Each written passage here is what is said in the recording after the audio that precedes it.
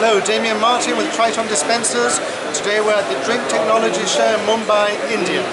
Triton Tabletop Beer Dispenser, a fun way of putting draft beer on the table.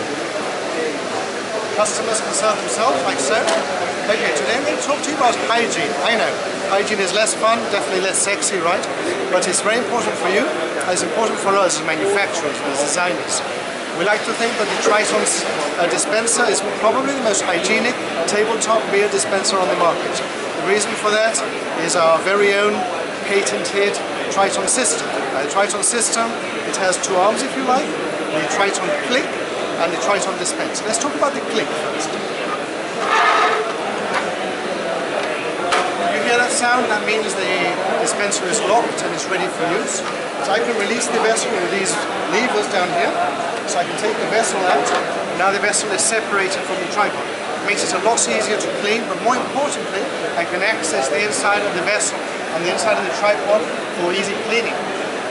It also means if I'm the bar person, I can stack the vessels and I can stack the tripods at the end of the working day for optimal storage.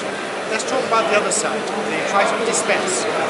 In the vessel I have these three sets of valves, you see here, one, two, three. I can take those out for easy cleaning. And in the tripod, I have the three handles, the three dispense mechanisms, and the three spouts. I can also take these out. I can rinse it with water, pop them back in. Really simple. Now, what this allows us is to have zero bacterial proliferation. We have perfect drainage, much more so than when the traditional beer. We even provide free cleaning brush with each unit so you can actually reach every single recess within, within the tripod. Last but not least, we have a very hygienic cooling system. This cooling block comes out of the freezer, we keep the beer ice cold for more than an hour.